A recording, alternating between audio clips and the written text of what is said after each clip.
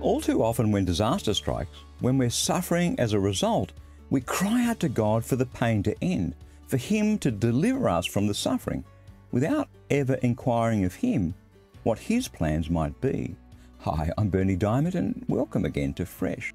Over these past few days, we've been stepping our way verse by verse through the beautiful hymn, It Is Well With My Soul.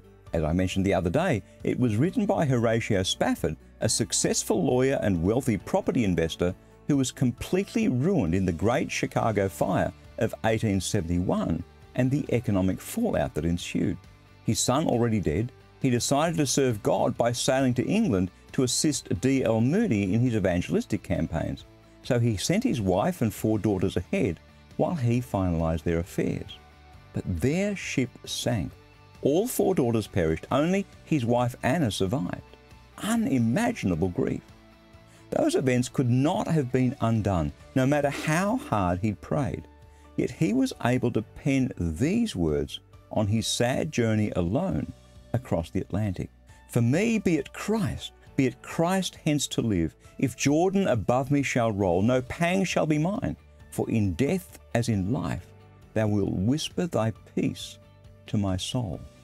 Horatio had discovered that when we make Christ our all in all, no matter what befalls us, Jesus is there to whisper his peace into our soul. And sometimes that's exactly what he has planned. We pray that the Lord of peace will give you peace at all times and in every way. The Lord be with you all. And that's my prayer for you today. That no matter what befalls you, that in Christ no pang shall be yours as he whispers his peace to your soul. That's God's word fresh for you today. When Jesus becomes our all in all, it changes everything. He whispers His peace, His love to our soul.